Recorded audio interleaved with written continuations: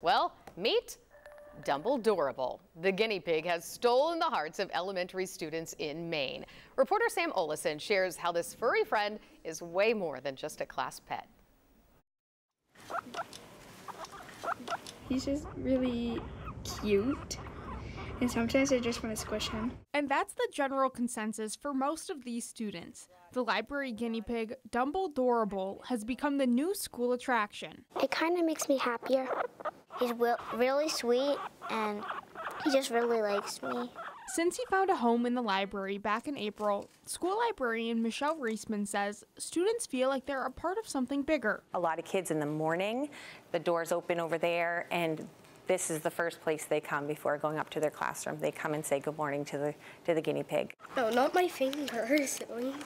Sometimes going to school is the best part of a child's day. And while it may be something as small as a guinea pig, Mrs. Reisman says she's glad she can help make someone's day a little brighter. I'm all about kids and all about what is best for them. I really, really love seeing how happy they are when they are around this guinea pig.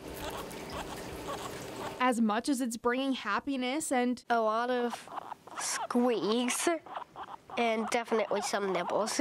Teachers are realizing Dumbledorable plays a bigger role for students, serving as an outlet for some kids who at times need relief. There are students that have behaviors and um, before the behavior escalates, this is a first stop to kind of calm students down. And he's helping some kids come out of their shell and get involved with taking care of him. I love for this place to be the heart of the school, and I think the guinea pig is just another piece to it that kind of make brings the kids together. All thanks to this furry face. Dumbledorable is a great name and so cute.